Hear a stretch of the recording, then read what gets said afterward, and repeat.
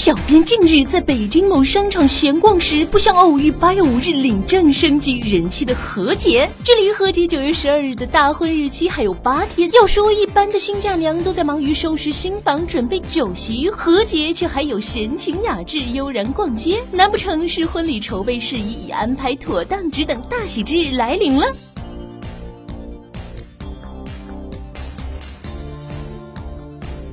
小编细观之下发现，何洁身穿粉装热裤，脚踏荧光色运动鞋，上露香肩，下露美腿，打扮得十分性感清凉。粉色和荧光黄的鲜艳搭配，加上秀发披肩，让她看起来丝毫不似人妻，依旧少女气息十足。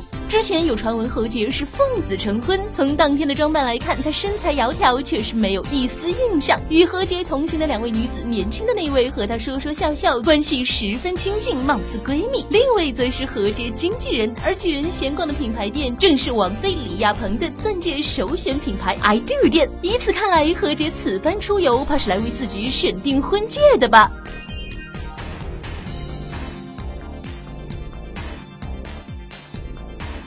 婚戒一般都要由男女双方一起选定或男方准备，但夫妻感情甜蜜的何洁并未介意老公没有到场。挑选过程中，脸上始终挂着甜笑。闺蜜更替代贺子铭预言起求婚场景。何洁接受戒指时娇羞不已，不知是否心情过于甜蜜兴奋。之后三人乘电梯离去时，何洁的露肩装下滑显走光，闺蜜则贴心为她提拉衣服。说起何洁这场婚礼，届时除了一百多位亲友会参与，一众超女也会受邀。在婚礼将将近之时，她还请老公贺子铭首度开腔合唱，记录夫妻二人对爱情感悟的温暖情歌。经过娱乐圈的艺人为了事业而经常隐瞒或放弃爱情，何洁早前不仅在发布会上大方公开男友身份，更是二十七岁就嫁为人妻，勇敢追求爱情的勇气确实令人钦佩。